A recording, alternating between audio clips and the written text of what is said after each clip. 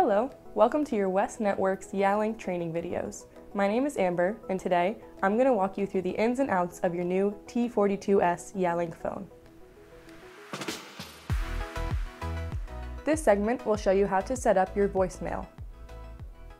Now I am going to show you how to set up your voicemail.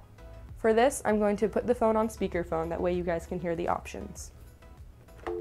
Simply press the mail button and it'll ring your voicemail.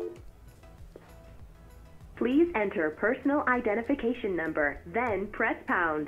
Your personal identification number is just your extension when you first get the phone.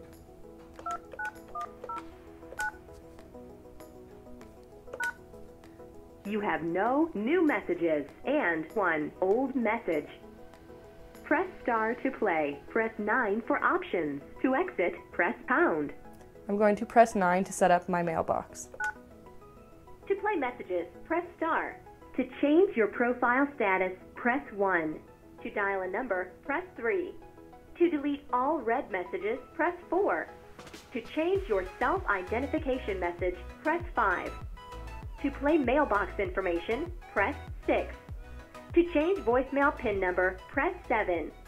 To change your greeting message, press 8. To repeat this prompt, press 9. To exit, press pound.